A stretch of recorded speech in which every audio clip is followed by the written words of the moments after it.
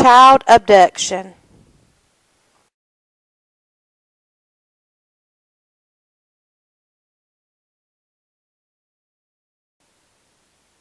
On average, a child is abducted every 40 seconds. Most end tragically.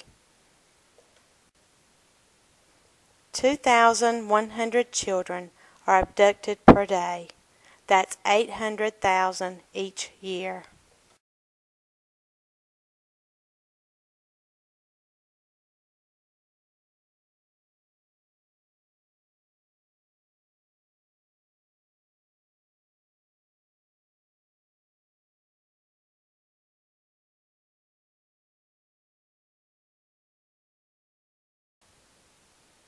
Strangers commit 52% of child abductions.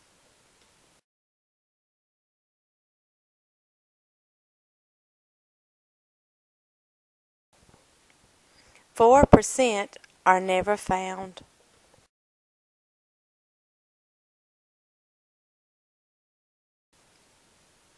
In the blink of an eye, your world as you know it could suddenly change.